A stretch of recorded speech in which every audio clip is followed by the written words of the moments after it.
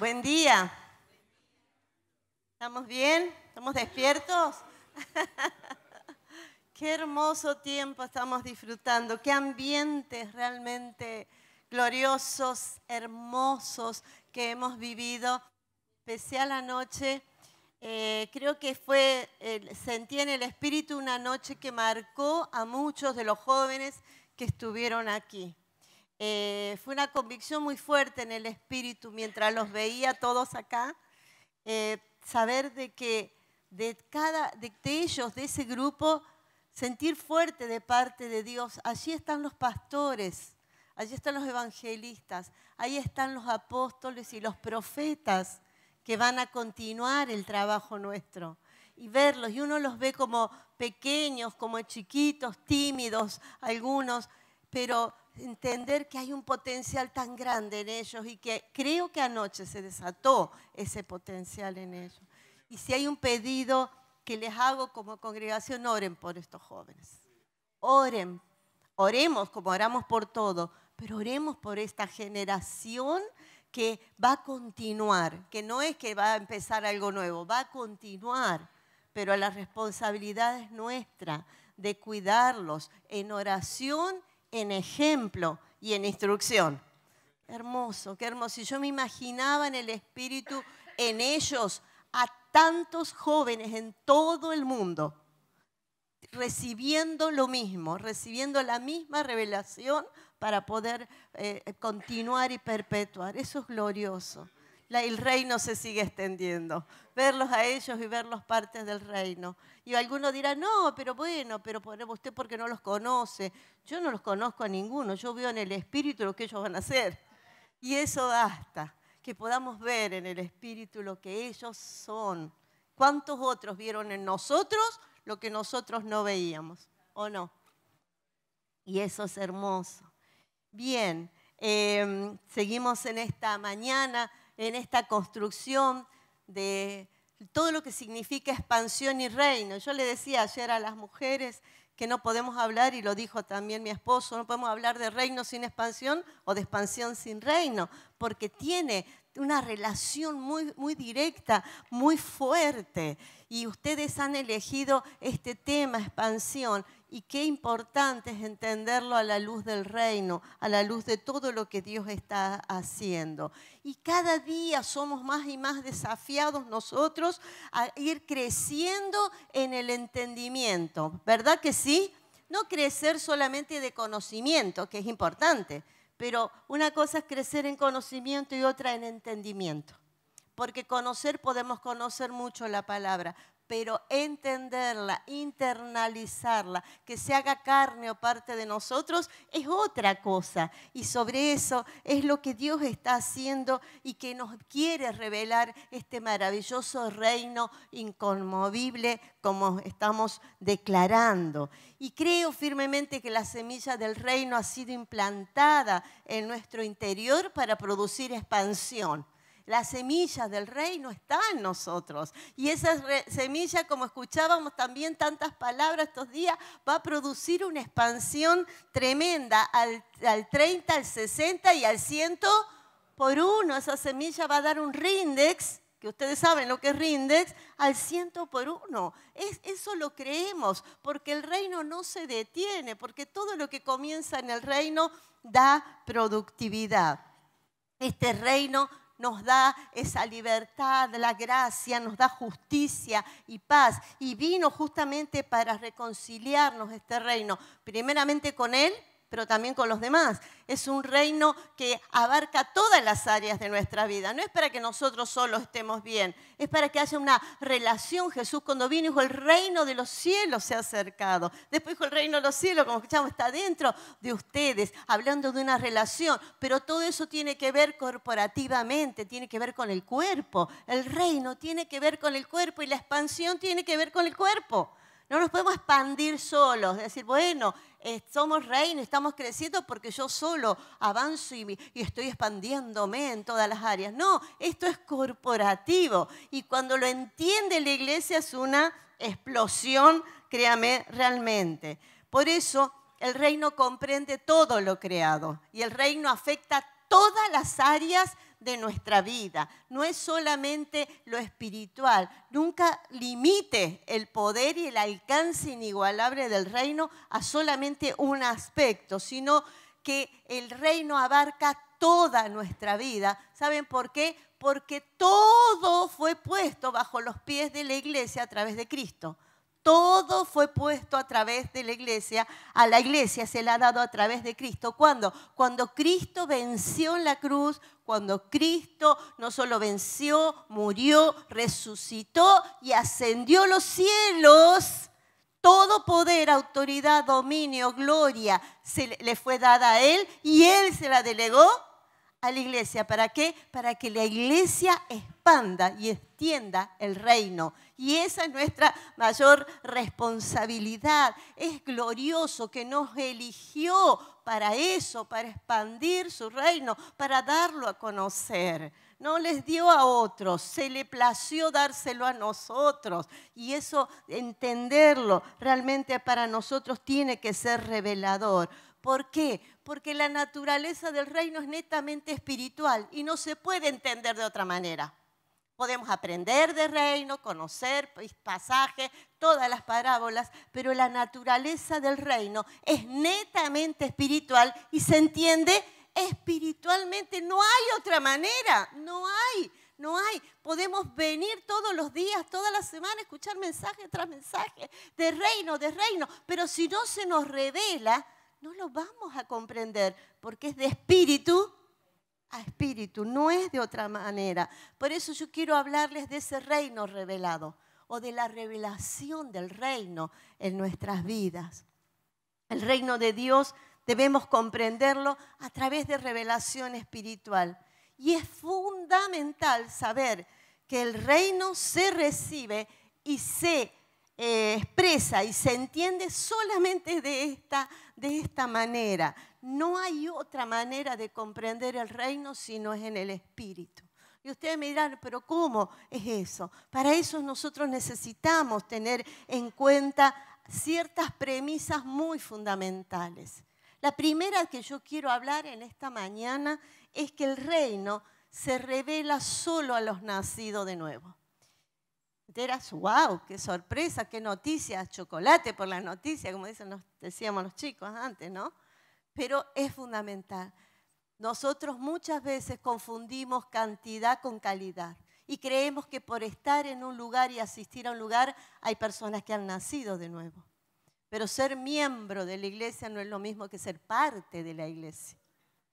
Y muchas veces ese, ese conflicto ha llevado a la iglesia a no hablo de acá, hablo la iglesia en general, a confundir nacidos de nuevo con personas que asisten.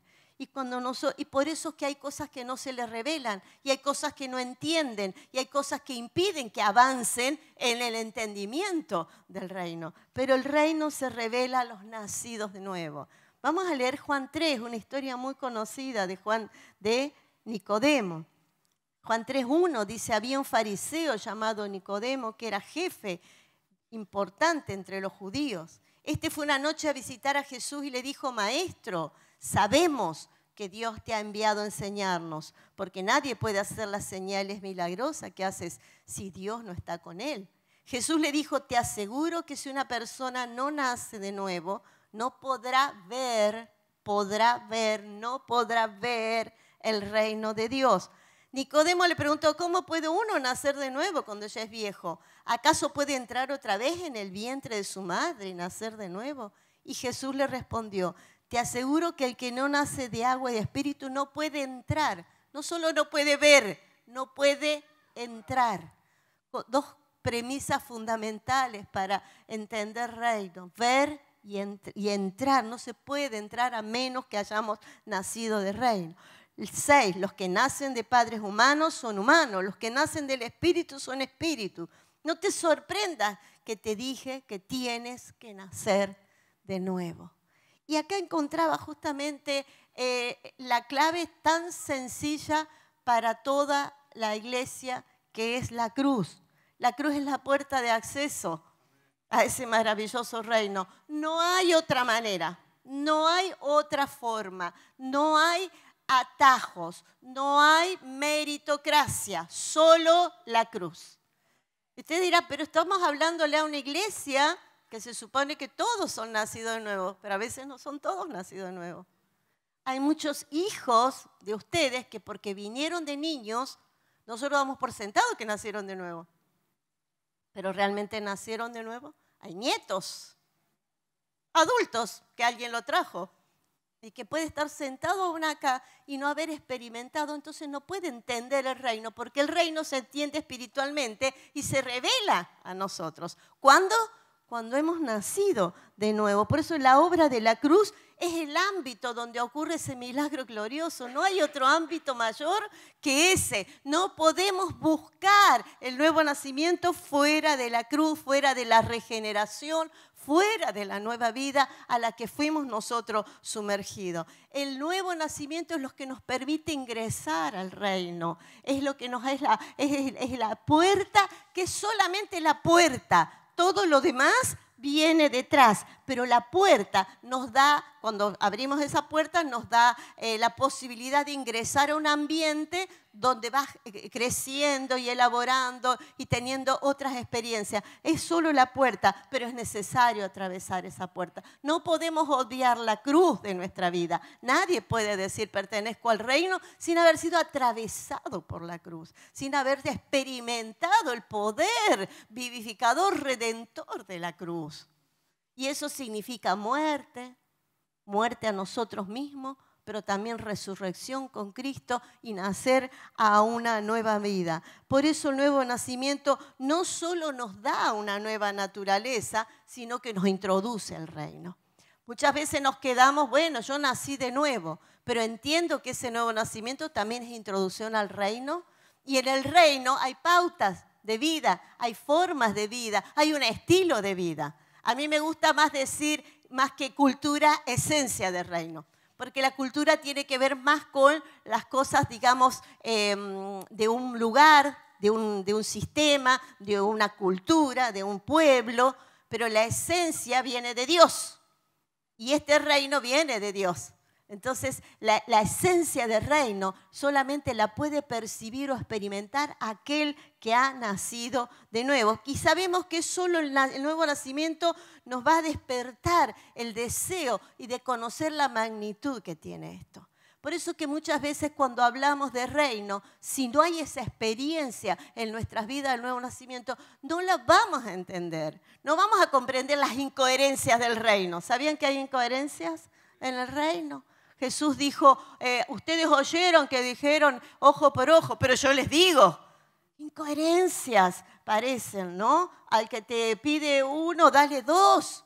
Cuando en otros reinos es al revés. Creo que nosotros tenemos el reino del revés realmente. Tenemos que experimentar esa vida. Solamente, por eso es que hay personas que dicen, no, ¿cómo puede ser que yo tenga que dar, que yo tenga que perdonar 70 veces 7? No entendí todavía el reino porque no he nacido de nuevo, no he experimentado la cruz como el principal, la principal puerta para poder avanzar. Y es solo el inicio de todas las riquezas insondables que Dios tiene para nosotros. La cruz es el, inicio nada más y allí es todo lo que Dios ha preparado para aquellos que le aman. Pero necesitamos atravesar esa cruz. No sé si, les, eh, no sé si acá lo contábamos, pero nosotros lo mismo que damos la palabra, los niños siguen la misma palabra. Y ellos experimentan, y el, para comenzar este año ellos le pusieron eh, que están recibiendo un reino invencible para entender la palabra inconmovible, ¿no? que es un poco más complicada. Y ellos hicieron una puerta muy linda y todos los niñitos querían entrar a esa puerta porque eran los mejores deportistas, los mejores atletas, los mejores, los más ricos, los más sabios, los más inteligentes. Y ninguno podía abrir la puerta hasta que uno abre la puerta y explica que esa puerta no sirve, nadie puede pasar por méritos propios, sino por haber, había una cruz y él atraviesa la cruz.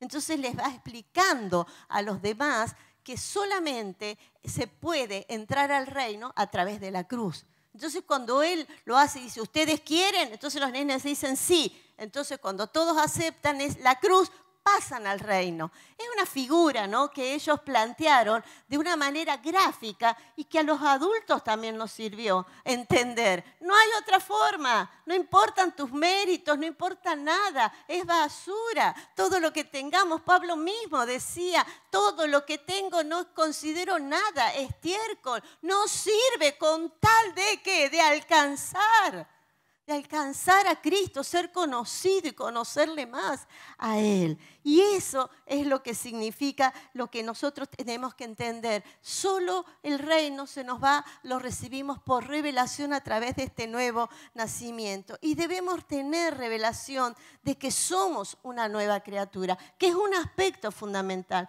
Porque algunos dicen, bueno, yo nací de nuevo un día en el año 1987, qué sé yo, ¿no? Un día. Pero entiendo que eso implica andar en una nueva, en una nueva vida o en novedad de vida, como dice una de las versiones. Según Corintios 5, 16 y 17 dice, de manera que nosotros de aquí en adelante, dice Pablo, a nadie conocemos según la carne, y aun si a Cristo conocemos según la carne, ya no lo conocemos así ya es a través del Espíritu, el conocimiento. De modo que si alguno está en Cristo, todos sabemos ese versículo, nueva criatura, las cosas viejas pasaron. Y aquí todas son hechas nuevas. La novedad de vida que hoy podemos disfrutar nos permite recibir revelación de quién somos, de lo que tenemos y dónde estamos posicionados en este reino. Muchos podemos haber experimentado nacer de nuevo, pero todavía no sabemos andar en novedad de vida. Porque la novedad de vida tiene que ver con experimentar el andar constante en este proceso, en este, en este camino. Tenemos, ¿por qué digo esto? Porque muchas personas todavía siguen atadas a su pasado. Pero la novedad de vida nos resolvió el pasado. Y hay un profesor que dice, nosotros no tenemos más pasado sino recuerdos. ¿Saben por qué muchas veces no podemos experimentar la nueva vida, la novedad de vida para seguir avanzando en el reino? Porque vivimos atados a recuerdos, vivimos regresando siempre a ellos, vivimos en la regresión constante, en las maldiciones. Mira, anoche eh, nos dio gracia porque, una pena, ¿no? Pero eh, estábamos así, prendimos un ratito la tele y había un predicador. Y él estaba hablando de justamente todo lo contrario de esto. Entonces decía, su abuelo pecó, su, su, abuela era bruja, su abuela, todas esas maldiciones están hoy con usted, por eso usted no puede avanzar. Entonces usted tiene que volver con un énfasis, lo decía con una seguridad que, yo creo que él eh, sinceramente está convencido de eso, pero nos dio mucha tristeza ver cómo quería llevarnos de nuevo a eso, cuando la palabra dice que andamos en nueva vida, novedad de vida, que las cosas viejas pasaron, que tenemos el pasado resuelto y podemos centrarnos en el futuro, en lo que venimos ahora, en lo que tenemos. En esta nueva vida no hay pasado, porque Dios hizo nuevo. ¿Entendemos lo que es nuevo? Es nuevo que nadie lo estrenó, que nadie lo usó, la vida nueva nadie la usó. Entonces no tiene pasado. ¿Cómo va a tener pasado algo nuevo? No está usado. Entender esa verdad a nosotros nos hace avanzar en la revelación del reino. ¿Por qué a veces no entendemos reino? Porque vivimos pensando en todo lo que hicimos en el pasado, bueno y malo.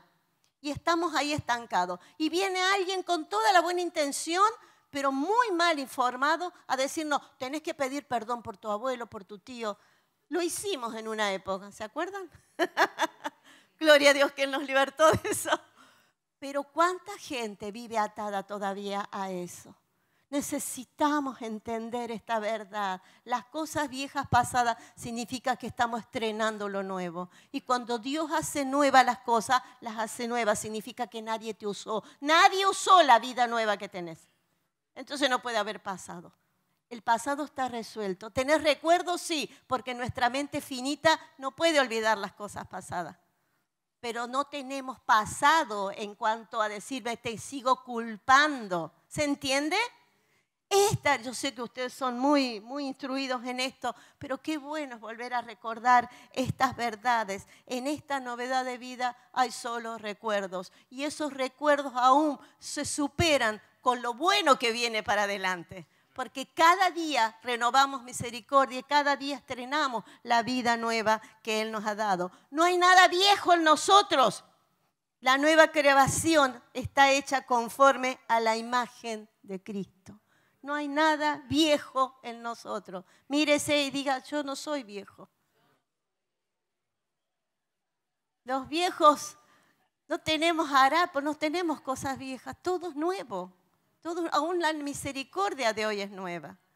Cuando entendemos eso, el reino se empieza a revelar mucho más en nuestro entendimiento, porque ya no estamos centrados en ese pasado, estamos centrados en lo que viene. Amén.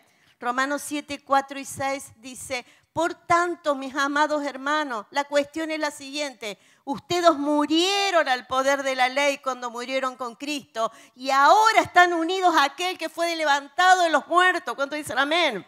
Como resultado podemos producir una cosecha de buenas acciones para Dios. ¿Cuándo podemos producir buena cosecha de acciones para Dios? Una cosecha de buenas acciones. Cuando entendemos que estamos muertos, ¿no? Que morimos con Él y que resucitamos con Él. En otras palabras, cuando andamos en esta novedad de vida. Versículo 5. Cuando vivíamos controlados por nuestra vieja naturaleza, los deseos pecaminosos actuaban dentro de nosotros y la ley despertaba esos malos deseos que producían una cosecha de acciones pecaminosas, las cuales nos llevan a la muerte. Pero ahora fuimos liberados de la ley porque morimos a ella y ya no estamos presos de su poder. Ahora podemos servir a Dios. ¿Cuándo? Ahora podemos servir a Dios, no según el antiguo modo, no con la naturaleza vieja que consistía en obedecer la ley, la letra de la ley, sino mediante uno nuevo, que es el vivir en el Espíritu. Cuando vivimos en el Espíritu, el reino se nos revela. Cuando andamos en el Espíritu, el Espíritu se nos revela. Cuando entendemos la novedad de vida y cuando entendemos que es necesario nacer de nuevo. Nicodemo era un religioso que no lo entendió. Él tenía conocimiento. Siempre dice Alberto, eh, la palabra clave de él era sabemos. Cualquier religioso te dice, yo sé, yo sé, yo sé, sabemos. Y Jesús le dice, no sirve lo que sepas. Nace de nuevo porque esto se entiende espiritualmente. ¿Querés entender reino? Nace de nuevo.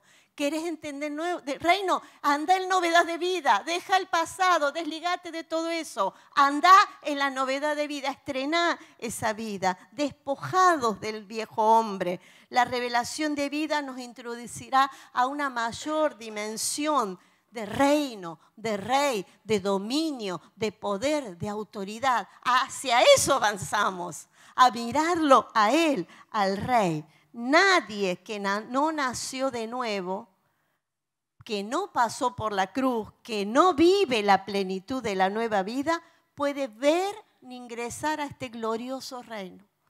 Entonces, ¿cuál es el primer paso? Si ya naciste de nuevo, seguir avanzando. Y si no estás viviendo la plenitud de la nueva vida, empezá a, entenderlo, empezá a practicarlo, que no sean impedimentos para que se nos siga revelando. Por eso es el paso inicial que Jesús le habla. Y como decía recién, es un llamado este también a los padres, a los hijos, a los nietos no te conformes con venir porque te trajeron de chiquito. Yo sé que en esta ciudad es una ciudad generacional y esta congregación también. Vinieron los abuelos, los padres, los, hijos, los nietos, todos. Pero eso no nos garantiza que todos sean parte del reino. Nos va a garantizar eso, que ellos hayan nacido de nuevo y que experimenten la novedad de vida diariamente. Esa es la y esa es nuestra responsabilidad, llevar a nuestras generaciones a ese estado ¿Fruto de qué? De ver nuestra vida también nacida de nuevo y caminando en novedad de vida cada día para que el reino se nos, se nos revele más y más. ¿Por qué? Porque vuelvo a decir, el reino se revela de espíritu a espíritu, es algo espiritual. El reino también se revela en segundo lugar a los pobres de espíritu. Jesús qué dijo? Mateo 5.3, de memoria lo sabemos, bienaventurados los pobres o dichosos o tres veces felices o como querramos decirle, los que reconocen su necesidad espiritual porque el reino de los cielos le pertenecen.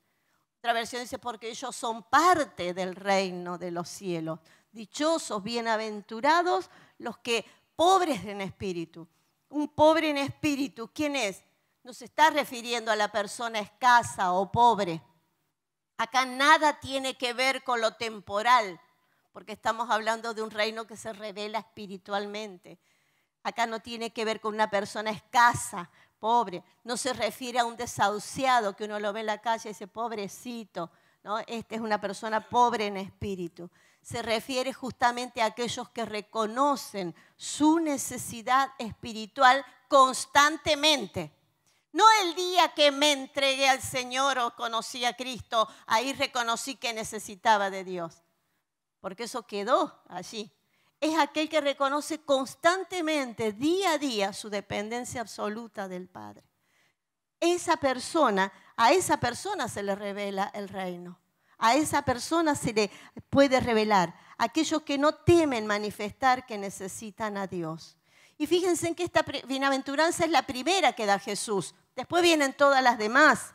¿Por qué? Porque tiene que ser la primera, porque sin ella no hay acceso al reino. Está diciendo, ¿querés ingresar al reino? Bueno, tenés que reconocer tu pobreza espiritual. Y esa pobreza espiritual nos hace entender que no hay nadie en el reino que haya entrado sin admitirla.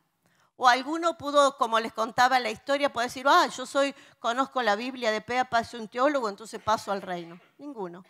Creo que la condición de todos cuando llegamos a Cristo, ¿cuál fue? Te necesito, ¿o no?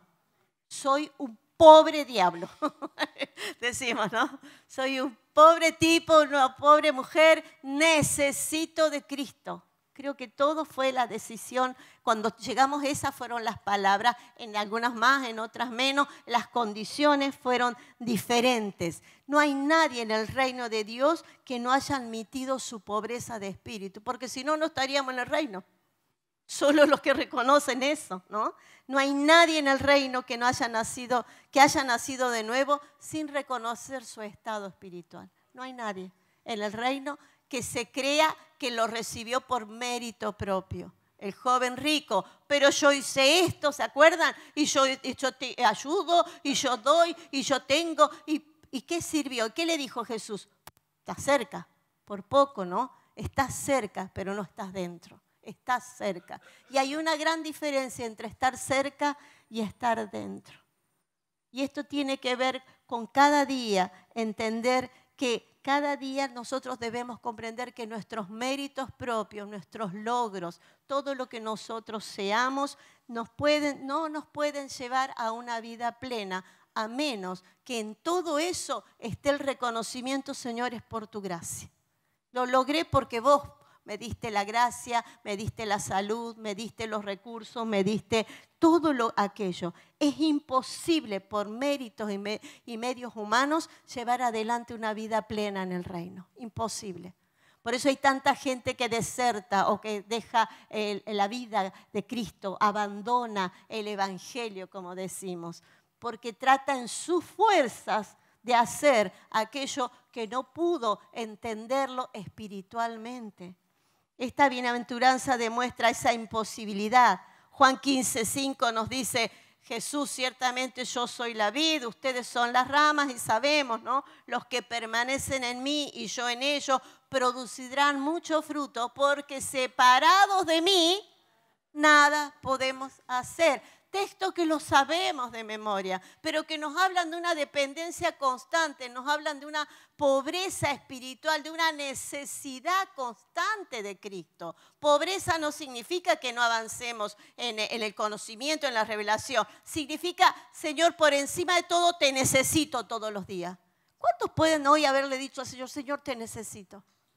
Porque cada día necesitamos de Él, de su gracia, de su amor, de todo lo que Él nos provee. Reconocer que siempre necesitaremos de la gracia divina. Es la necesidad de reconocer, no puedo, para que sí se aplique el todo lo puedo en Cristo que me fortalece. Una frase tan trillada, ¿no? Puedo, cuando yo reconozco, Señor, en mis fuerzas no puedo, entonces el yo puedo en Cristo fluye. Cuando digo en mis fuerzas, ¿cuántos hemos dicho esas expresiones? Son expresiones de un pobre en espíritu, de un dependiente de Dios. Ser dependiente de Dios no nos hace inferiores, al contrario, es de valientes. Dependiente, dependencia de Dios significa valentía para reconocer a un supremo, a un Dios grande, a un rey que gobierna, a un rey que nos dirige. No hay peor cosa que la independencia, cuando creemos que sabemos todo, que no necesitamos que nadie nos enseñe, que nadie nos diga nada. Es terrible. ¿Saben qué sucede con eso? Estamos desenfocándonos y difícilmente podamos entender reino difícilmente, porque la revelación se da de espíritu a espíritu, se da, es una revelación espiritual. La dependencia absoluta del rey se trata de algo que el mundo no admira. El mundo en este, en este aspecto desprecia que las personas se reconozcan necesitados. ¿O no? Vivimos en un mundo donde todos tenemos que ser, vos podés, sos el campeón, lo escuchamos aún desde, las congregaciones, nuestros mensajes. Vos no, todo lo podés, todo en esfuerzo, los coaching motivacionales que te inflan el ego y te hacen creer que podés. Después salir a la calle, te das un porrazo y te das cuenta que todo eso solo en tus fuerzas no se puede. Debemos reconocer que todo lo que somos es por la gracia de Dios. Nadie quiere ser dependiente, pero ello significa un logro humano. Cuando nosotros somos dependientes, estamos demostrando nuestra debilidad y nuestra dependencia absoluta. El texto que eh, me llamó la atención, Filipenses 3.3, ah, dice, porque los verdaderos circuncidados somos nosotros, o sea, los que han nacido, los que por medio del Espíritu adoramos a Dios y nos llenamos de orgullo de pertenecer a Cristo Jesús. Esta versión me gustó. Nosotros no ponemos nuestra confianza en esfuerzos humanos. Nosotros no ponemos nuestra confianza en esfuerzos humanos. Nos enorgullecemos, si se puede decir esa palabra, ¿en quién? En pertenecer a Cristo, en depender de Cristo, en que nuestra dependencia sea de Él. Por eso no se trata solo de cantarlo, ¿no? mi dependencia, árbol de vida, muy lindo, todo Edén, todo eso. Pero si no lo vivimos, ¿de qué nos sirve cantarlo? ¿Cuántas cosas tenemos que redimir en nuestras vidas y dejarnos, no, dejar de cantarlas, pero empezar a vivirlas, empezar a, a practicarlas? Saben que todo esto, el orgullo, la soberbia, hacen creer que, que, debilidad, que esta, es esta pobreza de espíritu es sinónimo de debilidad el orgullo. Yo no voy a reconocer que necesito. ¿A cuántos le gusta eso? El orgullo te dice que no. La soberbia te dice, ¿cómo me voy a humillar? Pero el que se humilla es el exaltado. El que se doblega ante Dios, el que se quebranta, el que reconoce que necesita de Dios. No importa los años que tengamos en el Evangelio, cada día nuestra actitud debe ser esa. Señor, me humillo, me quebranto. Escuchábamos el primer día que nos quebrantemos sobre esa roca. Yo quiero quebrantarme cada día sobre esa roca y no que la roca me pulverice. Quiero quebrantarme delante de Él. Señor, lo que, ah, usame, Señor. Vos dependo de vos, Señor. Lo que tengo te doy. Esa dependencia no me hace más débil y nos hace más débiles. Ese es el reino. Ese es el reino, contrario a lo que se vive en los reinos, en este sistema que podríamos verlo. Fíjense en que Juan en el mismo capítulo 15 dice respecto a esta parte negativa, el que no permanece en mí es desechado como rama inútil y se seca. Todas esas ramas se juntan en un montón y se queman. No servimos para nada. El que no depende, no tiene una dependencia real, el árbol, y acá ustedes tienen mucha vegetación, saben que una rama está media seca porque no está recibiendo savia, ¿qué hacen? La cortan y la ponen al fuego, ¿no? Y así, sucede en lo espiritual. El que no permanece en mí es desechado. O sea, todo lo que no permanezca en nosotros va a ser sacado de nosotros porque no sirve no sirve al propósito, no está dependiendo de la rama y provocamos conflicto con las otras. Malestamos, afectamos al resto. Tristemente es así. Esta, este pobre de espíritus es conciencia clara que eh, sin Él nada somos. Pablo lo decía tan claro en 1 Corintios 15, 10. Pero lo que soy, lo soy por la gracia de Dios. Y su gracia no ha sido en vano. Vaya que no fue en vano en su vida. La gracia de Dios dio mucho fruto a través de la vida de Pablo. Porque he trabajado más que todos ellos, si bien es cierto que no he sido yo, sino la gracia de Dios que ha obrado por medio de mí. Si hay algo que nos tiene que caracterizar cada vez que somos expuestos a la palabra, cada vez que Dios nos usa, reconocer esa dependencia con estas palabras. Soy lo que soy por la gracia de Dios. Soy lo que soy por lo que Él ha depositado en mí. Es lo que Él ha depositado, es lo que produce el resultado o el fruto que cada uno puede ver. Solo los valientes pueden asumir esta condición de pobreza y buscar en Él la vida plena. ¿Saben por qué? Porque el pobre de espíritu está listo. ¿Saben para qué? Para recibir mayor revelación del reino. ¿Cuántos queremos mayor revelación del reino? Que nuestra actitud sea dependencia, pobreza de espíritu, que va en contra de los cánones y los principios de este mundo, pero que son los principios del reino donde nosotros fuimos llamados. Nosotros trabajamos para el reino de Dios, servimos a este reino. Y en tercer lugar, el reino se revela y produce vidas productivas. Cuando el reino se revela, produce vidas productivas. Y esto es hermoso entenderlo, porque eh, una vida productiva se caracteriza por crecimiento. Cuando algo es productivo, crece. Un negocio si es productivo, crece. Pregúntele a las cadenas supermercados. Creo que acá está la misma cadena, o escuché la publicidad de una de allá del sur, la anónima. Mira dónde está. Esa anónima nació en Río Gallego, en, una, en un galponcito, y hoy se ha extendido a un montón de lugares. Me llamó la atención. Sí, muchísimo.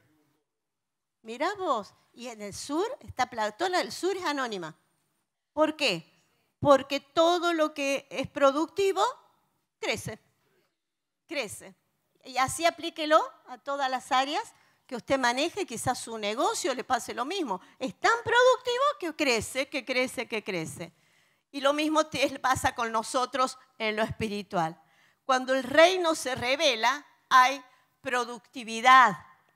Hay productividad. No puede no haber productividad cuando el reino se revela.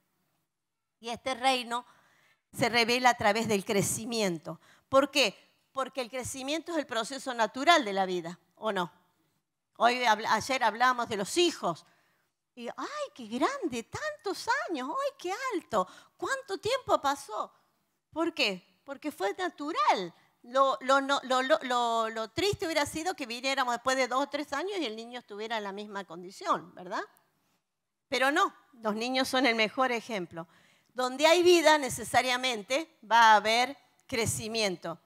Porque esa es la voluntad de Dios para sus hijos. Dios quiere que sigamos creciendo, que sigamos avanzando en el crecimiento conociéndole a Él, que crezcamos en el conocimiento de Él, nos dice la palabra. El crecimiento es lo contrario al estancamiento. Cuando me estanco, no estoy creciendo. Pero lo triste es que el estancamiento espiritual nunca es quedarte en el lugar sino retroceder.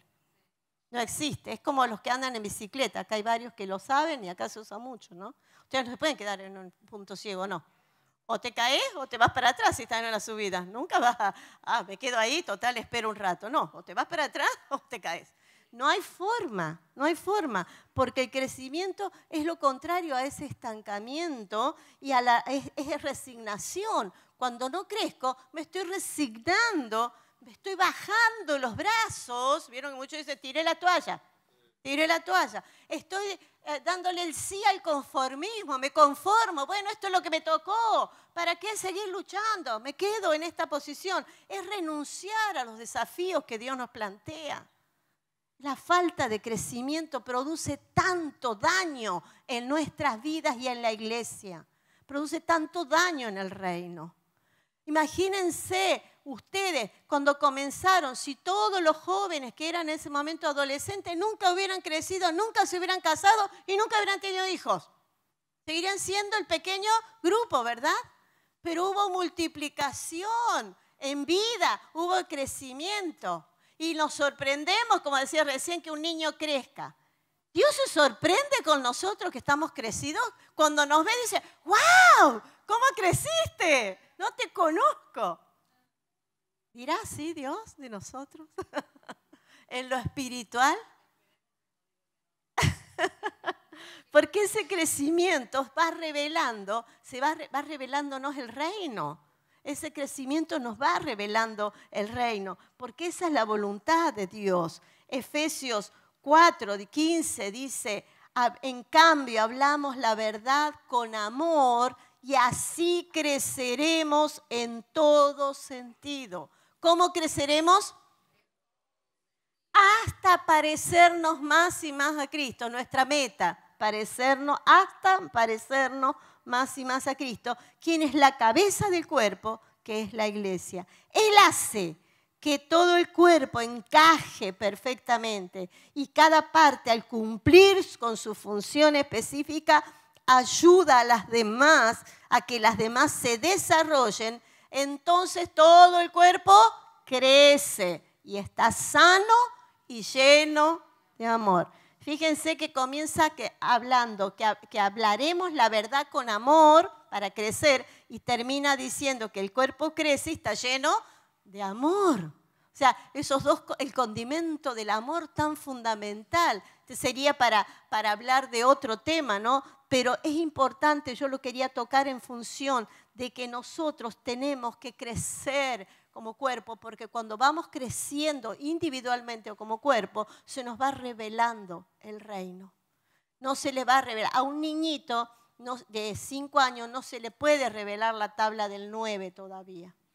Pero cuando tenga, no sé, cuarto grado, tercer grado, ya la tiene que saber. Creo que el tercero ya la saben a la tabla del 9, las tendrían.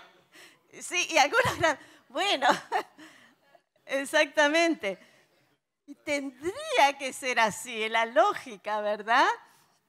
Y nosotros debemos que entender que a medida que crecemos, el reino se nos va revelando. Vamos superando etapas, vamos creciendo. Y lo interesante que dice aquí, en todo sentido. Para muchos crecer en, Cristo es solamente estudiar, estudiar, estudiar. Pero acá dice en todo sentido. ¿Cómo estamos creciendo? Familiarmente, personalmente, en intimidad, en comunión con los demás, en compromiso, en servicio, en todas las áreas, aún integralmente en nuestro cuerpo. Cuidamos nuestro cuerpo como templo del Espíritu para servirlo con este cuerpo mejor. Crecemos en ese entendimiento. Crecemos en ese entendimiento. Tantas cosas Tantas cosas que el crecimiento tiene. Y fíjense en la meta, parecernos más y más a Cristo. No es para que sepamos más ese crecimiento, no es para, uy, somos los mejores, uy, tenemos toda la doctrina mejor, uy, somos, pertenecemos a UNGE y somos los mejores, todo eso. No, es para parecernos más y más a Cristo. Nuestra meta es ser como Cristo. Y hacia esa meta todos avanzamos. Por eso dice, cada uno cumpliendo su rol específico, crece. Y en ese crecimiento de cada uno, todo el cuerpo crece y se desarrolla y está sano y lleno de amor. Hay una responsabilidad individual, pero hay una responsabilidad colectiva en esto, corporativa. Yo no puedo darme el lujo de decir, bueno, yo crezco, no me importa lo que pase con mi hermano. Yo tengo que crecer y ayudar al otro a que crezca. Por eso la iglesia es su cuerpo de servidores, donde unos a otros nos alentamos, donde unos a otros nos enseñamos, donde los unos a los otros abundan en la Biblia, donde unos a otros nos estimulamos al amor y a las buenas obras, donde unos a otros nos amamos, donde unos a otros oramos unos por otros. Busque todos los unos por otros Y es impresionante. ¿De qué habla eso? De cooperativismo, de corporativismo, del cuerpo. ¿Para qué? Porque si todos hacemos eso unos por otros, todos crecemos y todos avanzamos. Y todos recibimos revelación del reino. Amén. Una vida productiva también en este aspecto se caracteriza no solo por el crecimiento, sino por el desarrollo. Porque una cosa es crecer y otra cosa es desarrollar ese crecimiento, el desarrollo. Y ese es el proceso que nos permite aprovechar el potencial que tenemos.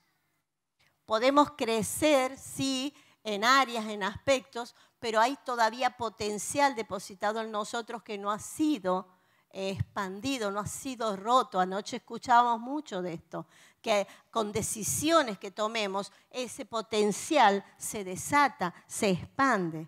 Esto tiene que ver con dejar la niñez espiritual, dejarlo todo lo que tiene que ver para comenzar a madurar, a madurar. El fruto tiene un proceso de madurez. El árbol creció, pero el fruto se desarrolló después. Primero creció el árbol. De la semilla no salió el fruto, ¿o sí?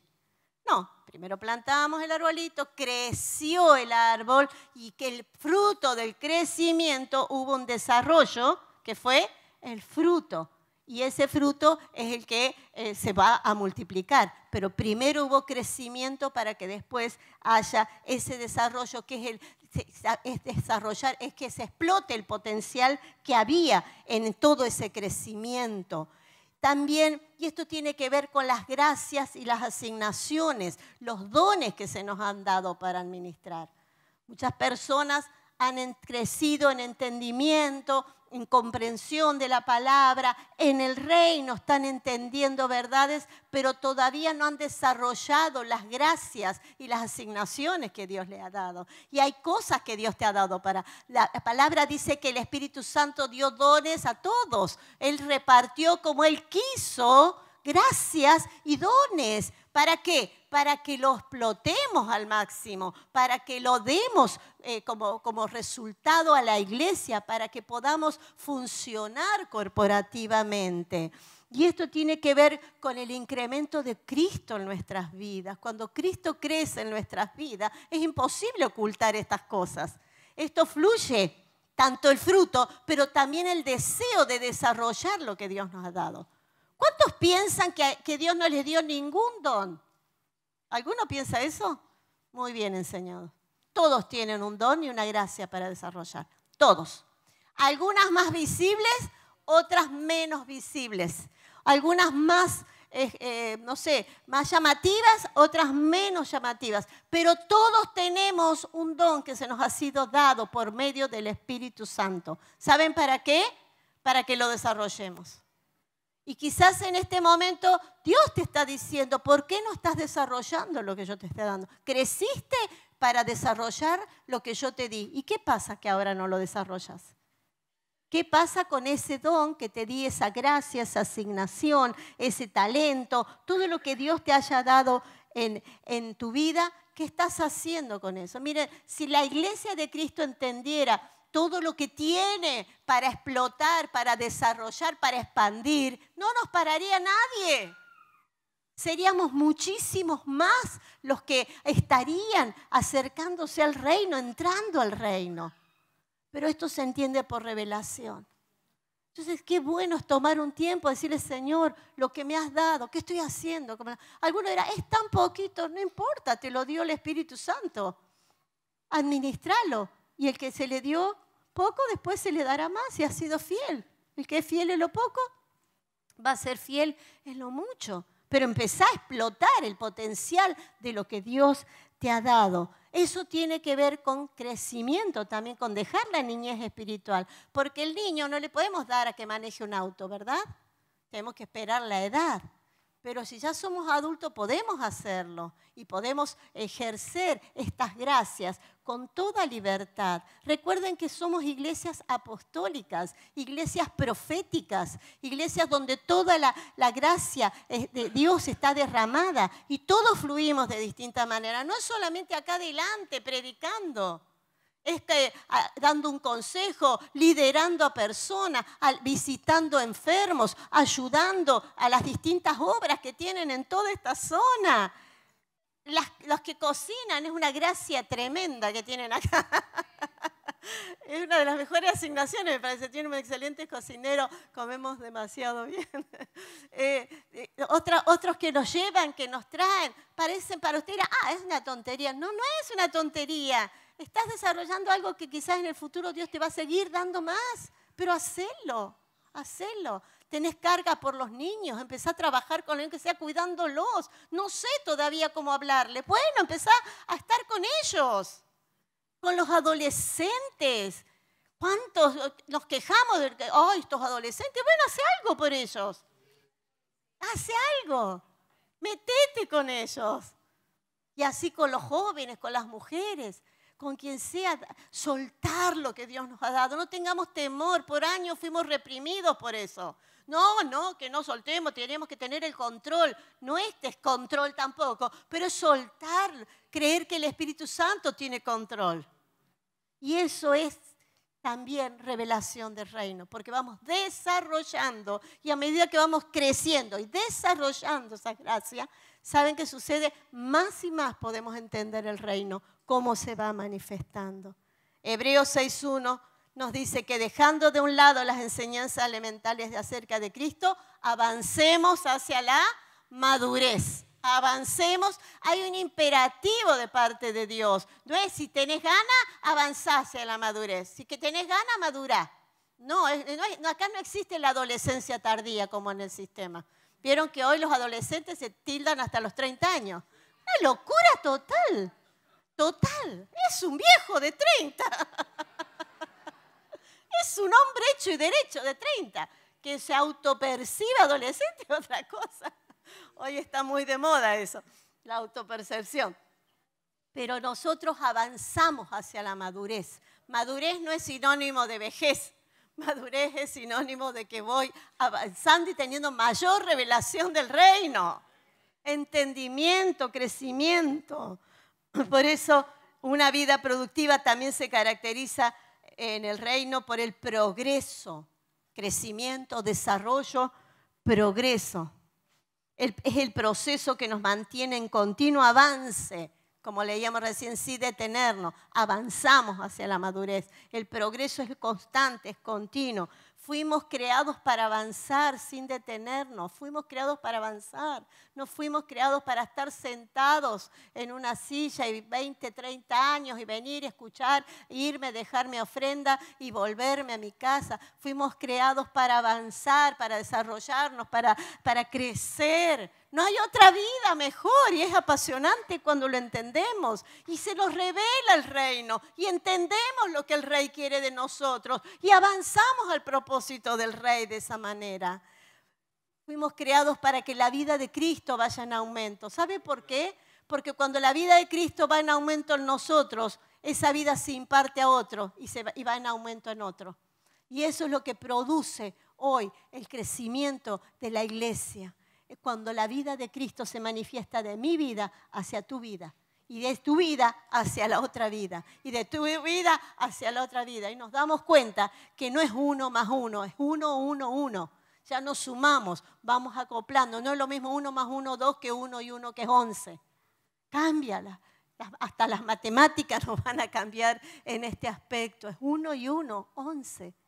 Y uno, ciento once y 1, 1111, no es uno más uno más uno más uno. No sumemos de la forma tradicional. Veamos en el espíritu cómo Dios va uniendo, uniendo vidas, porque cada uno representa generaciones, porque detrás de cada uno que vos has impactado con tu vida, hay otros que vienen.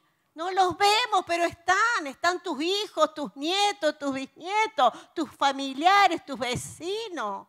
Hay tanto, tanto en ese avance. Para que la vida de Cristo vaya en aumento, debemos avanzar para mostrar el mayor compromiso y responsabilidad en el reino. Cuando avanzamos demostramos compromiso en el reino. Cuando eh, necesitan algo, aquí estoy, como escuchamos estos días, estoy disponible. Yo sí, yo le decía a las mujeres las palabras favoritas que espera escuchar el rey. ¿Se acuerdan cuáles eran? Aquí estoy, donde quieras, como quieras, cuando quieras. Esas palabras son las que espera el Señor de nosotros, el Rey de nosotros. Aquí estoy, hay que avanzar, aquí estoy. Tenés que ir a tal pueblo, acá estoy. Tenés que hacer tal cosa, tenés que evangelizar a esta familia, aquí estoy. Tenés que venir a limpiar, aquí estoy. ¿O no? Esa es la parte que más, más cuesta, ¿no? Que más a veces. Tenemos que reunirnos para orar, aquí estoy donde quieras, Señor, como quieras. Yo quiero seguir avanzando. Ese progreso debe caracterizar nuestras vidas. ¿Por qué? Porque si hay un marcado crecimiento en todas las esferas de nuestras vidas, si nos desarrollamos de manera integral, no hay duda de que habrá este progreso en nuestras vidas. El crecimiento, el desarrollo va a traer progreso. Y ese progreso nos va a llevar a experimentar y dar a conocer con mayor certeza y exactitud el reino. Porque vamos a ir entendiendo, vamos a ir teniendo revelación. Esto no es porque ya lo sé hacer, esto viene del cielo, es nuevo porque viene del cielo y es revelación fresca para mi vida cada día. Querida iglesia, 1 Corintios 2, 12 al 16 nos dice esto. Nosotros no hemos recibido el espíritu del mundo, sino el espíritu que procede de Dios para que entendamos lo que por su gracia Él nos ha concedido. ¿Qué nos ha concedido Dios? Hoy podemos decir el reino, dentro de tantas cosas, ¿no? Esto es precisamente de lo que hablamos no con las palabras que enseña la sabiduría humana, sino con las que enseña el Espíritu. De modo que expresamos verdades espirituales en términos espirituales. 14. El que no tiene el Espíritu no acepta lo que procede del Espíritu de Dios porque para él es locura. No puede entenderlo porque hay que discernirlo espiritualmente. En cambio, el que, es espiritual lo juzga todo, lo discierne, podríamos decir allí, porque él mismo no está sujeto al juicio de nadie, porque ¿quién ha conocido la mente del Señor para que pueda instruirlo? Nosotros, por nuestra parte, tenemos la mente de Cristo. Interesante que es imposible, acá nos está diciendo en otras palabras, entender reino sin revelación. Solo los espirituales lo pueden entender. ¿Y quiénes son los espirituales? Los que nacieron de nuevo, los que andan en esa novedad de vida, aquellos que han experimentado eh, esa dependencia, esa pobreza, reconociendo cada día esa dependencia constante, aquellos que entienden sus vidas altamente productivas para el reino, necesitan entenderlo y que esa revelación venga para ellos, para aquellos que hemos nacido de nuevo, es el entendimiento del reino. Por eso, si hay algo que nosotros debemos entender, que esta revelación del reino debe ser impartida desde la dimensión espiritual. No hay otra manera. No trate de convencer a personas que conozcan el reino si no han nacido de nuevo, porque le va a estar hablando a un muerto. No lo va a entender asegúrese que esa persona haya nacido de nuevo. Y cuando ha nacido de nuevo, se le van a quitar los velos y las vendas que tapan su vida, sus ojos espirituales y va a poder ver el reino. Y usted va a ser el que lo va a introducir a esa vida, el que lo va a guiar, el que le va a hacer ver la necesidad de seguir avanzando, seguir creciendo, seguir desarrollando y seguir dando todo el potencial que tiene. Eh, ¿Para qué? Para que el reino siga extendiéndose. Es la tarea de la iglesia y creo que Dios cada vez que nos demanda algo lo hace con toda la seguridad de que nosotros podemos. Dios cree más en nosotros que nosotros en nosotros mismos. Dios nos cree. Él sabe que somos capaces y Él lo asevera.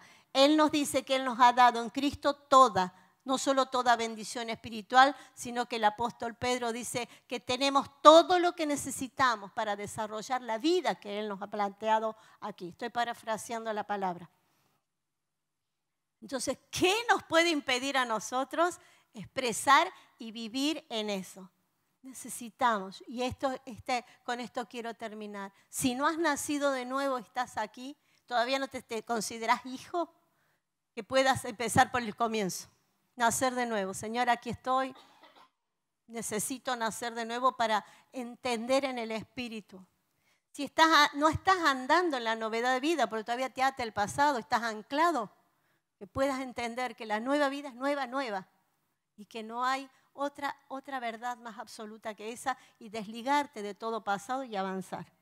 No tienes que confesarle los pecados a nadie. Ya es nueva, ya es nueva tu vida. Entonces lo único que tienes que es entenderlo, que revelación venga y avanzar.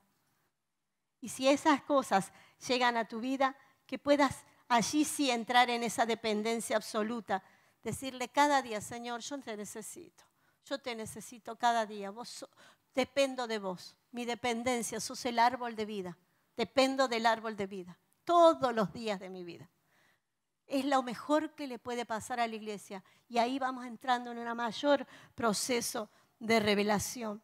Pero todo eso nos tiene que llevar a qué? A que podamos llevar una vida altamente productiva, altamente, no una vida solamente productiva, porque en esa, en esa vida Dios, el Espíritu Santo nos va a revelar el reino a través de esa vida altamente productiva. Cuando desarrollamos, cuando crecemos, cuando progresamos, cuando avanzamos en todo lo que Él nos ha dado. Quiero que oremos en esta mañana. Oremos por aquellos que están tomando esa decisión. Yo creo que hay hijos o nietos o hermanos que todavía no han tomado esa decisión y que puedan en esta mañana conocer a Dios no como el Dios de sus padres, sino como su Padre. Y así comienza toda esta aventura maravillosa.